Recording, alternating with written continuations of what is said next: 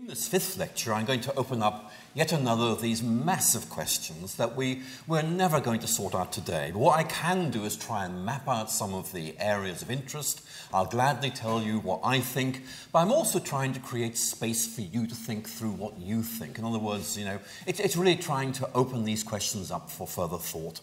And our question today is this one, you know, how on earth do we figure out what's right? How does science come into this? How does religion? How, how on earth do we think about this question of what is right to do? And you may remember, those of you who were here last time, that in the previous lecture, I began to reflect a little bit on the question of how um, science might feed into some of these big questions about how we ought to behave. So let's try and set everything in context before we, we move on and develop this further. I think for me, one of the most fundamental points to make is that, look, if you're a scientist, you're a human being, and scientists have these very highly developed ideas about how the universe works. And I think that is something that really is important. Let me emphasize just there's a good thing and it's an important thing. But there are other questions as well. And we're looking at some of these this afternoon. One of them will be this question, which is, you know, what is the meaning of life? How do we live a good life? And maybe these are questions that are more troubling, more difficult to answer on the basis of a purely scientific approach. And I just want to emphasize that it's very human to ask these questions, not simply to ask them, but to expect that there are some reasonable answers that we can come to, and these actually shape both the way in which we think but also the way in which we live. And the point I'm making here really is building on a point I made in earlier lectures, which is there seems to be a very big world beyond the rather limited world of scientific knowledge. And the question is, how do we hold these things together? And I try to draw a distinction between what I suppose we might call the shallow truths of reason and the rather more deep, rather more engaging, what we might call existential questions about who we are and why we're here. So let's begin by trying to frame the issue. And I thought I'd put on the screen a quote here from Albert Einstein. I quote Einstein quite a lot in these lectures simply because he's very well known, he's very interesting, but also he, has put a lot of thought into some of these questions. And in many ways, he, he, he's throwing up some ideas that I think you and I can engage with very properly. And Einstein basically was simply making the point here. Look, look, science is trying to help us figure out the way things are, the way things work. But there are things beyond its domain, beyond its sphere of competence. And this is what he's saying in this quote. Science can only ascertain what is, not what should be. And outside of its domain, value judgments of all kinds remain necessary. And that seems to me to be a point that, that we can't really get away from. That, in effect, if science is science and not something else, then in effect there are going to be certain areas of knowledge and opinion that do lie beyond its scope.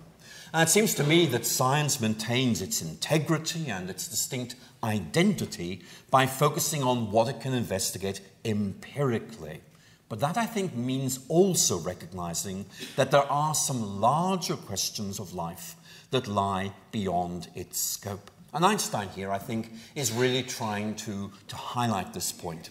In effect, saying, look, science is good, but there are these ethical questions. And these, in effect, are not so much about what is, but about what ought to be. And that moves us in a different direction. Now, this is Sir Peter Medawar. I've quoted him before, but again, a scientist with a very acute instinct for putting his finger on some of the deep questions which actually lay, lie at the borderline between science uh, and everything else. And Medawar was a, a very, very um, well-known scientist in his day. He won the Nobel Prize for Medicine back in 1960. And he was, in effect, a popularly engaged scientist. In other words, a scientist who was very much respected within his community, but also someone who was prepared to engage with the deeper questions that the culture was asking in those days. And Medawar, I think, is asking some questions that really are important. And one of them is this question about where we get our values from. Now, Medawar, I must emphasize, was a very rational person indeed, and in effect uh, had, had no hesitation whatsoever in denouncing anything or anyone that he thought to be beyond the pale of rational thought. And some of you who have read Peter Medawar may know his very famous critique of Pierre Teilhard de Chardin, who I think Medawar regarded as simply someone who substituted his imagination uh, for his reason and felt this was simply about the, the imagination of things rather than actually doing justice to the things that were right. But Medawar, although a very rational person, was acutely aware that reason had its limits. I'm going to put on the screen just a few things that he says that I think give us food for thought. In a book uh, containing a chapter on advice to young scientists, he writes these words, which again I think are quite striking. Young scientists must never mistake the necessity of reason for the sufficiency of reason. Now, I like that. It's a beautifully crafted sentence, and what he's saying is look, we've got to use reason to think.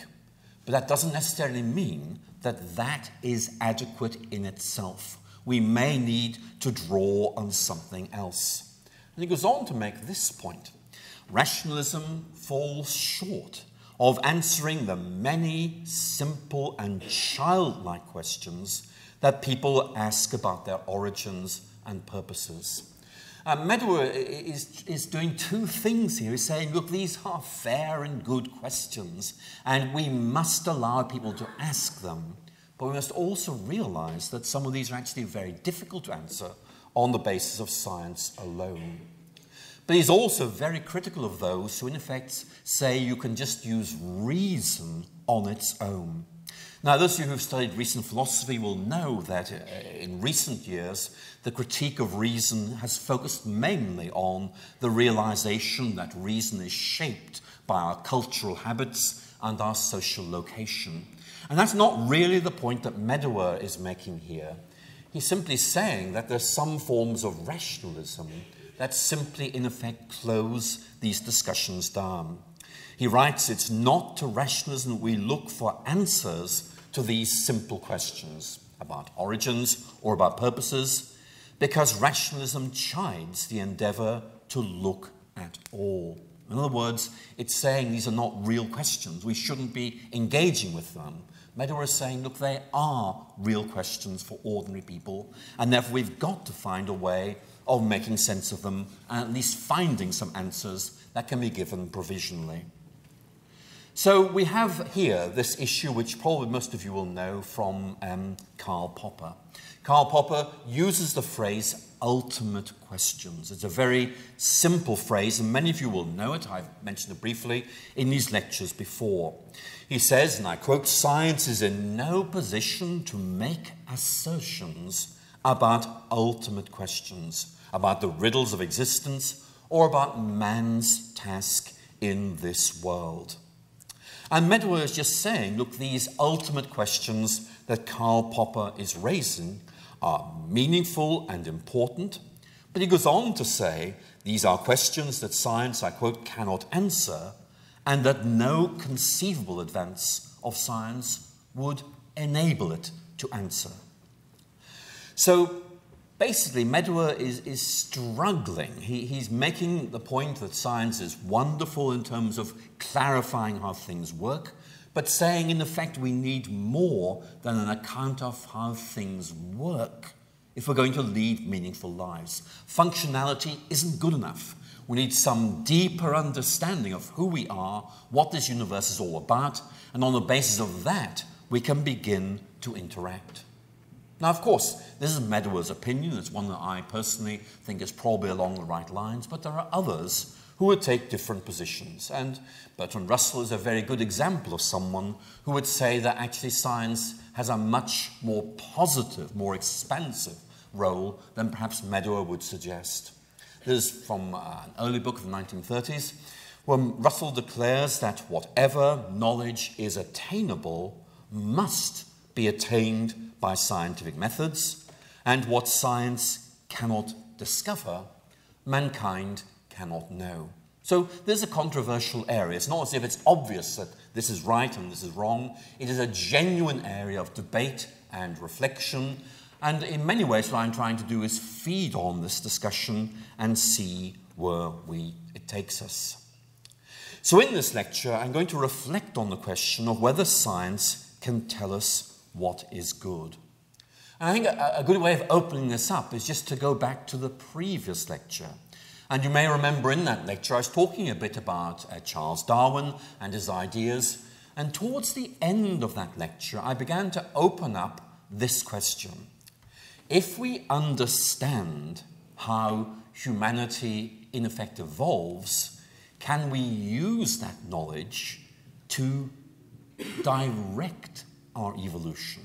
In other words, can we use an understanding of how we develop to, in effect, change our development? And I introduced you to the idea of eugenics. Eugenics, is this idea that, in effect, we can take charge of our own future by, in effect, preventing certain kinds of people from reproducing altogether, because that would, in effect, um, contaminate or weaken the human gene pool. And it's a very controversial area. And Darwin himself says one or two things which leave me slightly uncomfortable. Um, he makes the point that actually in, um, he used the word savage, we would find that a, a, a word we wouldn't use these days, but um, this is what he says, with savages, the weak in body or mind are soon eliminated, and those that survive commonly exhibit a vigorous state of health. And he unfortunately, is using this to reflect on the question of why hospitals might be a mixed blessing. Because, yes, they, they help people to survive, but on the other hand, it may mean that weaker people survive and thus raise questions about the future and so on. So, it, Darwin is slightly ambivalent about this. But the key point I'm making is that you know, there's a real issue here about how we reflect on the relationship between science and progress. And uh, Darwin here is making the point that civilized societies inhibit this process of elimination through medical and social care, thus enabling the weak members of civilized societies to propagate their kind. I don't think Darwin takes this in any worrying directions, but some of those who came after him, I think, did. And so one of the questions would be how do we how do we begin to think through the morality of some of these questions? Is science raising questions about morality that science itself isn't able to answer? Now, again, that's a huge question, but it is, I think, one that many of us will want to think about. And the real danger is about eugenics is that what might be seen as a scientific concern to help humanity survive could easily become a sort of political agenda whereby certain in groups are given preference and certain out groups are deprivileged. So there is a real issue there about where this takes us.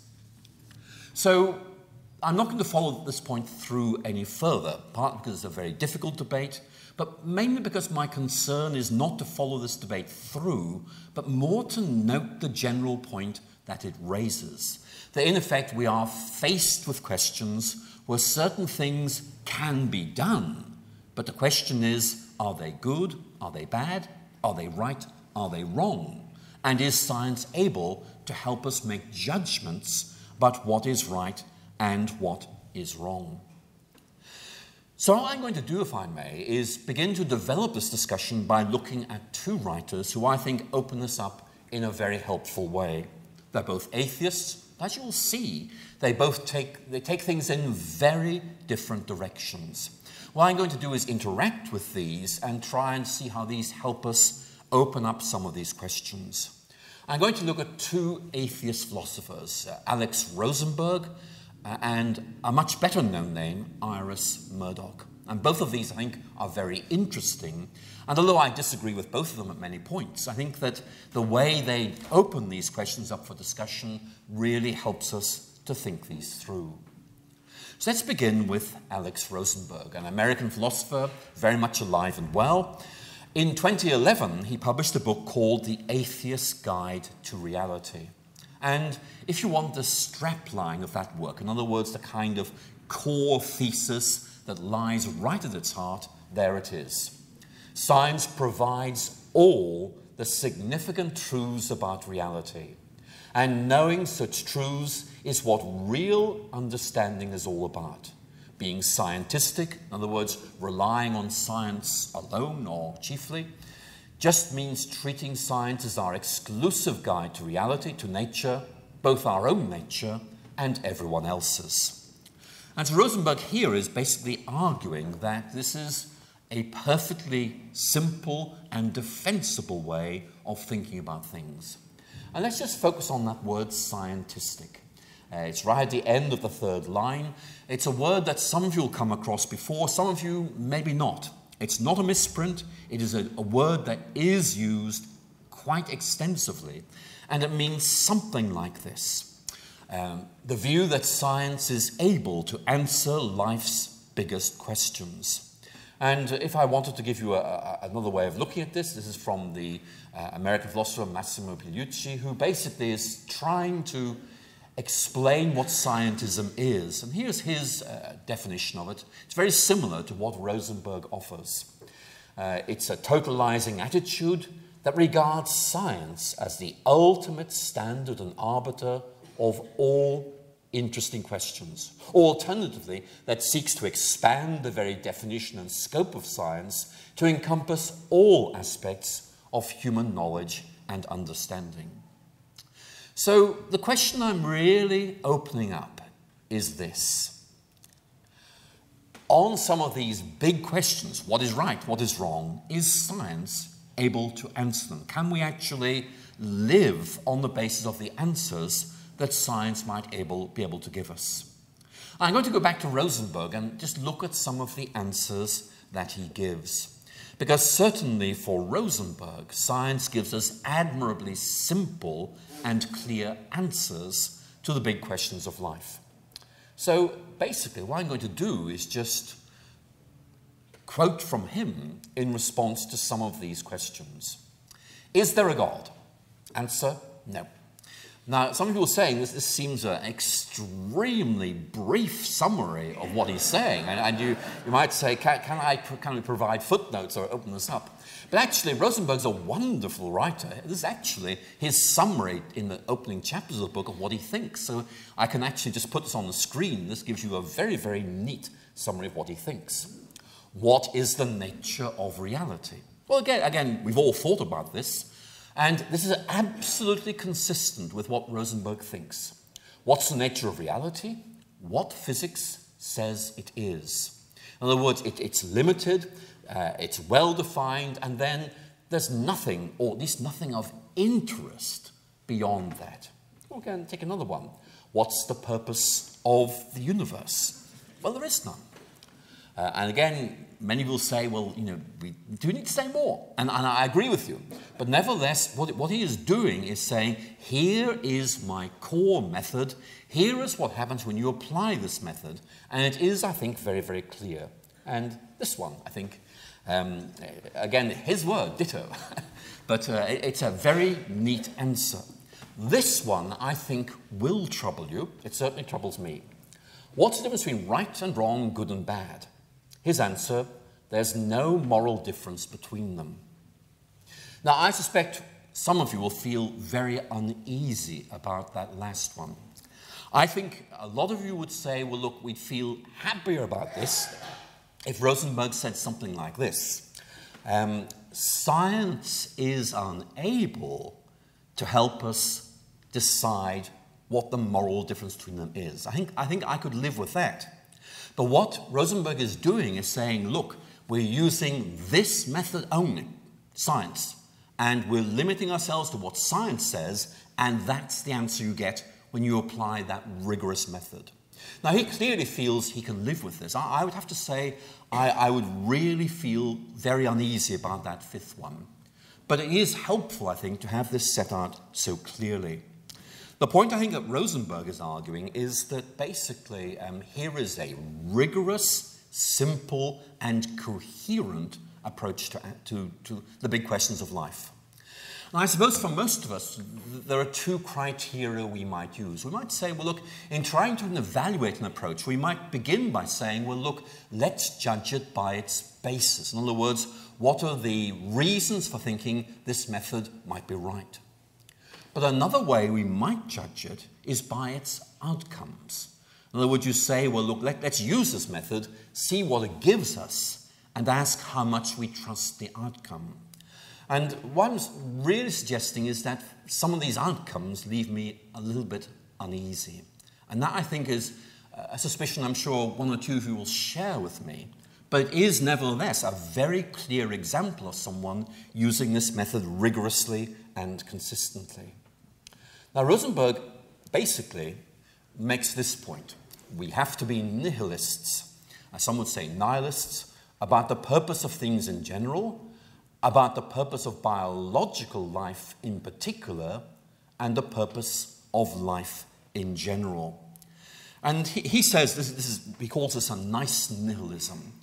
Um, for me, I think it is a very good summary of what he is saying. You know, this method we are using cannot give us answers, and therefore we say there are no answers to be given. And we just have to learn to live with that uncertainty. The question, of course, from most of us would be we all know there are times when we have to make judgments about what's right, what's wrong, and we do need help in some way to be able to figure out what we ought to do in these situations. So I think there are very important questions here. And I want to begin by saying that um, I, I fully accept that there are some scientists and some philosophers who would say that science is an exclusive guide to reality. And indeed, in, in popular culture, very often, this is the sort of default position. But I think there are concerns here about where this is going to take us. One of the most interesting things that Rosenberg develops later in this book is his argument that, um, that we are prone to accept certain illusions and he writes these words. Let me see if I put this in. Um, I put in, I'll read this to you.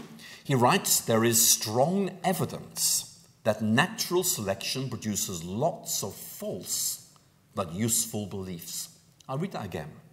There is strong evidence that natural selection provides, sorry, produces lots of false but useful beliefs. And his argument here is very, very interesting. He says that one of these false but useful beliefs is that actually we think real thoughts about a real world, whereas in effect, this is simply us believing something that may not be true. Have a look at this quote. Ultimately, science and scientism are going to make us give up as illusory the very thing conscious experience screams out at us loudest and longest. The notion that when we think, our thoughts are about anything at all, inside or outside of our minds. Now, if you follow that through in the book, which I, would encourage you to do if you have time, you see that Rosenberg is slightly uneasy about this, but nevertheless is saying this is where the science seems to take me. My, my feeling about this is this, that, you know, this is a, an idea, and in reflecting on the idea, you and I have to decide whether it's right or wrong, or whether the tools we're using to try and answer that question actually work. And really, there seems to be a sort of circularity about this. Actually, in effect, reason, which is the tool we have at our disposal to try and engage these questions, is almost being dismissed as something that is prone to give false results. And so I find myself wondering what tools I have at my disposal to kind of check this particular approach out. So I've given you Rosenberg as an example, simply to open up one way of looking at this. I have to say it's not an approach I find entirely persuasive, but it is a very clear, very coherent, very well-defined approach. And for that reason, I'm going to contrast it with Iris Murdoch, uh, who I find uh, much more interesting in, many ways. And Murdoch, I think, is a name many of you will know, and I'm sure many of you will have read her. What I like about Murdoch in particular is that although she does write works of pure philosophy, she also wrote novels. And very often she used those novels to, to open up in, in the form of a narrative some of the big philosophical and moral questions of her day. Where in effect we, we, we see these things enacted in people's lives not simply as patterns of abstract thought. And Murdoch was very, very clear that morality was very, very important and it involved challenging ourselves, involved, in effect, confronting what we want with a vision of what we ought to want. In other words, it's not so much saying morality is what we naturally desire, it's about there being something that forces us to interrogate or critique those natural ideas and ask us whether they're reliable and right. One of the main problems of moral philosophy, she writes, might be formulated thus Are there any techniques for the purification and reorientation of an energy which is naturally selfish in such a way that when moments of choice arrive, we shall be sure of acting rightly? Now, Murdoch's answer to that question is well, yes, but it's a complicated answer. And what she is trying to do is to say that to make this work, we have to recognize there is something beyond us which challenges or informs us. So, in effect, our natural or innate ideas are subject to scrutiny and challenge by something that's not subjective but is outside us. And her argument basically is that there has to be a transcendent ideal which is capable of capturing both our minds and our imaginations, which in effect presents us with this vision of what is good. And once that captures our imagination, it motivates our conduct. And she sets out this in a number of writings. Um, here is one. Uh, she's quoting from the Book of Common Prayer of 1662 in this little passage, but she's trying to say that we need something beyond us to think about what is right. Talking about the term good, the proper seriousness of the term refers us to a perfection which is perhaps never exemplified in the world we know. There is no good in us, but which carries with it the idea of transcendence. And that really is the key theme for Murdoch. We need there to be something beyond us, which in effect challenges us and informs us and redirects those selfish thoughts which we so easily have in helpful and good directions. So you can see that Murdoch is moving in a direction which you and I would probably loosely describe as Platonic or perhaps Platonist. In other words, there is, there is this transcendent world beyond us which is in some way able to impact on our world, giving us a vision of something beyond this world, which nevertheless shapes the way we think and behave in this world. And Murdoch uses this language of transcendence a lot in her writings. Now, let me emphasize she's an atheist. But she feels she has to have this notion of some kind of transcendent reality to give stability to the idea of moral notions. Here she is. Good is a transcendent reality. That means that virtue is the attempt to pierce the veil of selfish consciousness and join the world as it really is. It's an empirical fact about human nature this attempt cannot be entirely successful. And you can see the point she's, she, she's really grasping at here. That in effect, um, we need something to illuminate us, to redirect us. And that's not something within us, but something beyond us. Now, many of you will know that Murdoch was writing these thoughts back in the 1960s and early 1970s, and at that time, Murdoch was based at Oxford, and at Oxford at that time, any notion of transcendence was regarded with a certain degree of ridicule in the professional philosophical circles in which she worked. Yet Murdoch insisted that we need some idea like this if we're going to make sense of human experience in general and moral experience in particular. So, one of Murdoch's core insights then is that we have to act within this world, within an empirical reality, but that in itself and of itself isn't good enough to enable or sustain our moral vision. And Murdoch is basically saying, look, the sciences are, are wonderful, but they just cannot deliver this transcendent vision that we need to inform and empower our moral vision.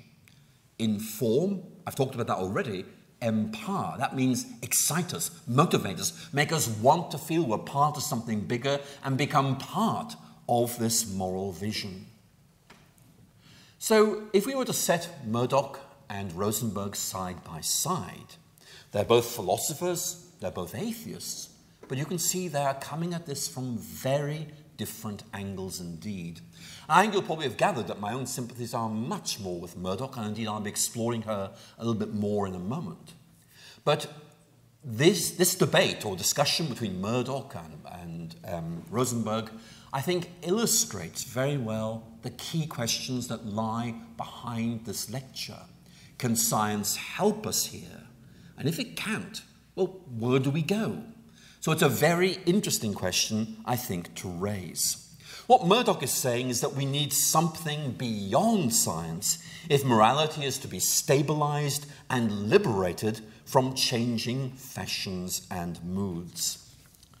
So, if Murdoch is right that as moral beings we're immersed in a reality um, uh, which transcends us, then where does that kind of thinking take us? Now, up to this point, I, have kind of way indicated I quite like the way in which Murdoch is going. But I'm going now to just to raise a question which seems to me to cause her difficulty. And it's this. Here is the question I would ask of Murdoch. If she is right, and there's this transcendent thing called the good. Uh, remember that very famous lecture, The Sovereignty of Good, where she talks about this, this radiant vision of goodness which energizes and motivates us. Well, uh, if she is right, how do we, how do we actually know what it's like? Where do we see this, if you like, enacted? In other words, is this just some sort of abstract idea which each of us understands in our own way? Or, or is there some way in which this transcendent idea is disclosed or embodied so we can actually see what it's like? And Murdoch actually, in her novels, is very, very good about this. She, she presents characters who exemplify in their lives the kind of moral virtues she's talking about. But for me, the Achilles heel of Murdoch's moral vision is that um, we, how do we actually see what this is like? It, it's very, it very easily becomes simply an abstract idea beyond us rather than something that we can somehow relate to and give us excitement. How do we give substance to this ideal? And that for me is an issue that seems to me to be important here. If I could use a theological word to try and put my finger on what I think is the problem here, I think that we need goodness to be incarnated. In other words, to take some sort of form in our own world so we can see it and say that gives us an idea about what it is and motivates us to want to be like it. So if we use classic Platonic imagery, the kind that Murdoch is clearly interested in, we would need to talk about how we have access to the ideal of the good. How can we mediate between this transcendent world of goodness and our own world? And that to me is a problem that I think Murdoch has.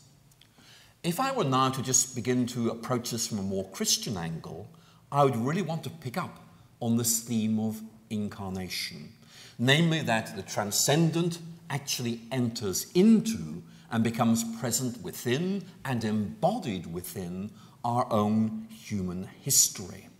In other words, if I could just use classical theological language, we could say that truth beauty, and goodness, those three words are very often linked together as the so called Platonic triad truth, beauty, and goodness can be seen in Christ incarnated within the actualities of life.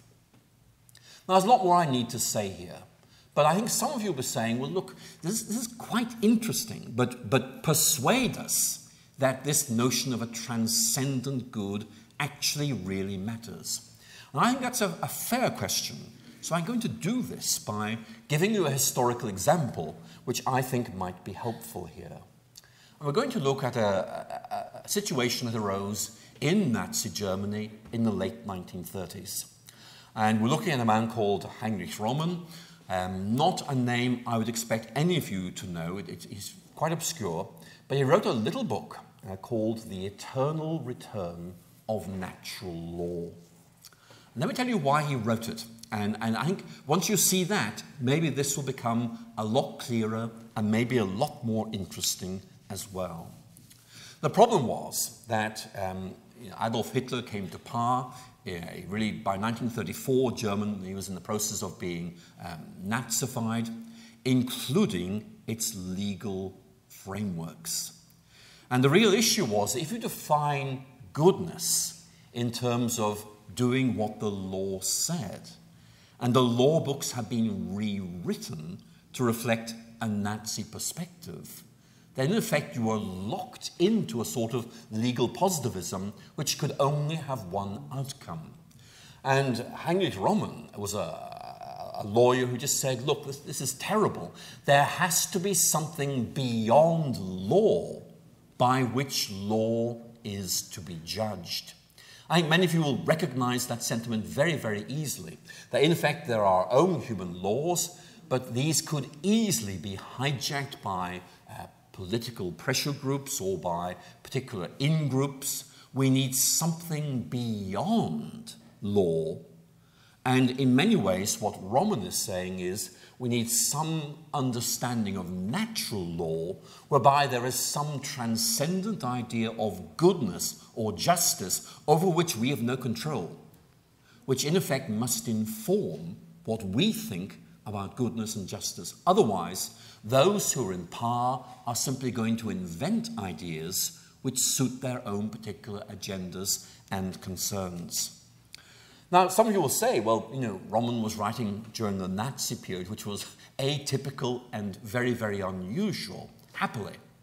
But nevertheless, I think he does make a very fair point. We need something, if I can put it like this, by which what we think is right can be interrogated.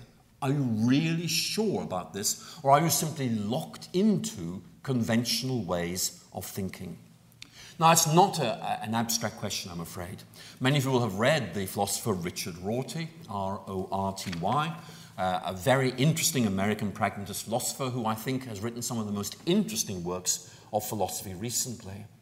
And Rorty takes the view that actually what we perceive to be just or right is largely the outcome of social conventions. And he, this is where he talks about this in his book, The Consequences of Pragmatism. Some of you will know this book. If not, it's a very interesting book. And Rorty here is simply making the point that, um, in effect, uh, we decide what is right. It's a matter of social convention, and um, there is no need to invoke anything transcendent. We decide for ourselves. Which has, he concludes, one important implication. And it's this there is nothing deep down inside us except what we've put there ourselves. No criterion that we have not created in the course of creating a practice, no standard of rationality that's not an appeal to such a criterion, no rigorous argumentation that is not obedience to our own conventions. Now, it's quite a long sentence, but the, the gist of it is look, we have this this, uh, that's what we call a groupthink, uh, a, a way of thinking which becomes settled and crystallized. And once that's happened, you can't get outside it. Everything is, in effect, shaped by this settled understanding of what things are. It cannot be challenged, it cannot be interrogated. And a lot of cultural commentators would say that Rorty is describing very well the problem. In effect, those in cultural power very often just get locked into certain ways of thinking. But Rorty doesn't help us ask what might be done to break free from this. In fact, Rorty himself was very, very clear that actually this was a real problem. And this is one of the most famous sentences from uh, this book, where Rorty, in effect, is saying, look, there is a problem with what I'm thinking, but I can't see a way around it. And this is reflections on the implications of his viewpoint. He believes it to be right, to be better than alternatives, but nonetheless, there is this niggling concern that just isn't going to go away, and it's this. When the secret police come, when the torturers violate the innocent, there is nothing to be said of them in the form there is something within you which you are betraying. Though you embody the practices of a totalitarian society which will endure forever, there is something beyond those practices which condemns you. Now, it's an interesting quote. Again, Rorty doesn't solve this problem, but he does give us this very, very interesting insight that there's something not quite right. Yes, there is this, we do have this tendency as human beings to get locked into certain ways of thinking, and we need something beyond those practices. But how does that break in? So it seems to me that raises some very interesting questions. For Rorty, the truth of moral values depends upon their existence and their acceptance within society. But many of his critics are anxious about this. They would say, using a technical phrase, that Rorty simply reifies social practices. In other words, he takes what we do and, in effect, constructs from that a way of thinking about justice. And, in effect, what we do, what we're used to doing, is treated as being, in effect, much the same as righteousness or justice. Heinrich Rommen's idea of the eternal return of natural law, I think, is hinted at in what Richard Rorty says. But I have to be very honest with you and say, actually, Rommen's own approach is equally difficult. And I go back to that point that Iris Murdoch makes. We need a transcendent vision of goodness to challenge our own understandings of what is right and good. But how do we find out what that is? And again, Rommen has that same difficulty. So for me, uh, some of you here will I think probably disagree, but for me, natural theology is actually probably best thought of as a critical tool. It's something that says to us, look, we need something like this to prevent us from lapsing into these self-centered and um, group-perpetuated ways of thinking. But actually, it's very hard to know how we gain access to this, because if we could, then that would surely sort everything out very, very quickly indeed. So, how do we begin to make a connection with religion? Well, let me just begin to open this up. It's a huge question. What I'm going to do, if I may, is just begin to map out some of the questions and maybe giving, give you the beginnings of answers and leave you plenty of space to think these things through for yourselves.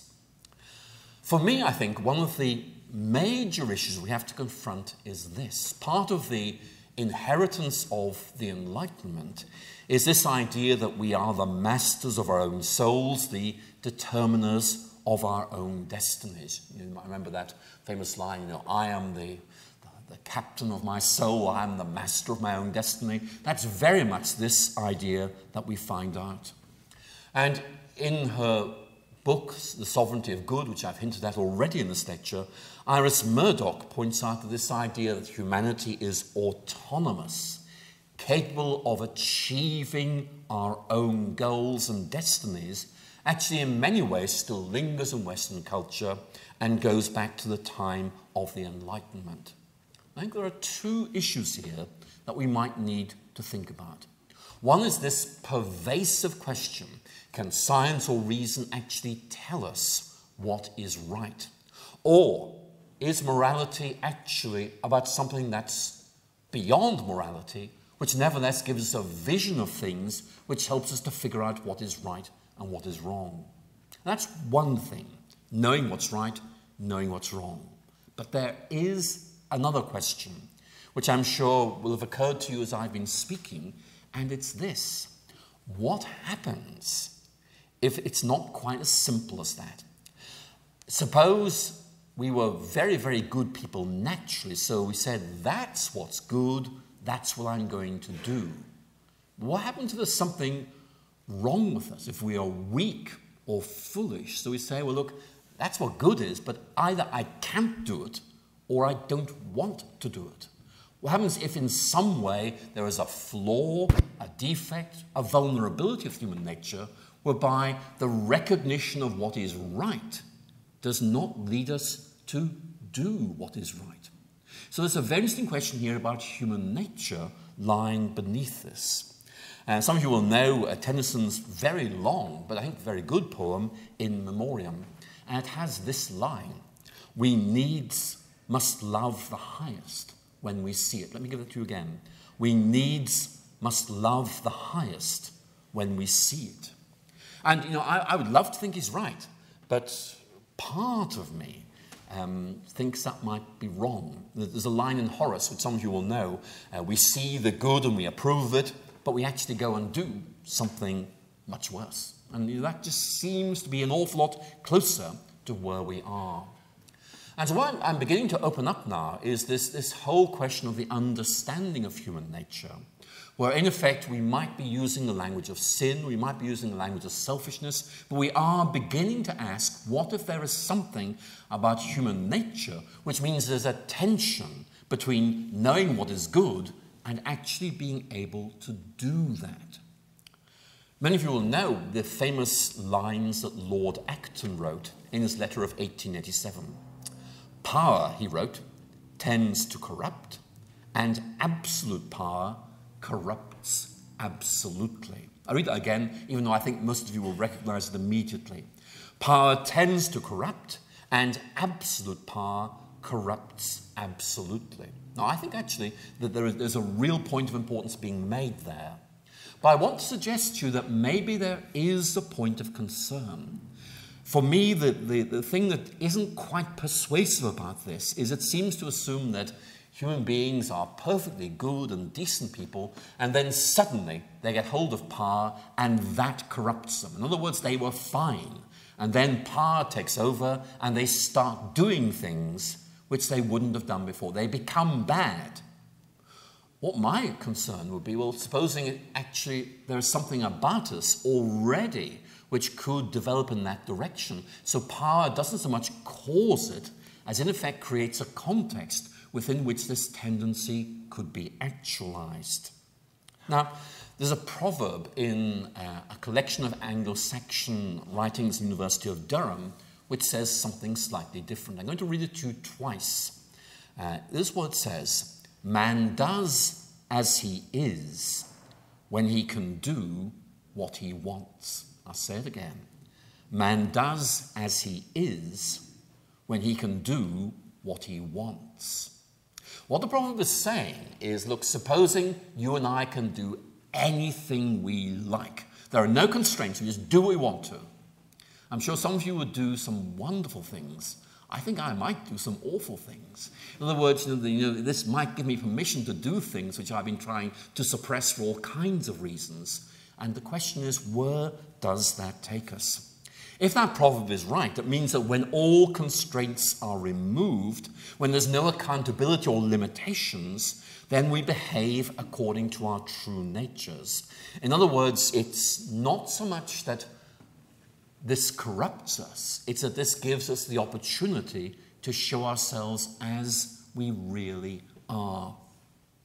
That's a very troubling thought because if that's right, then power isn't about corrupting, it's about exposing, bringing out what's already there, but which is suppressed through the force of social convention or the need to conform to customs or expectations.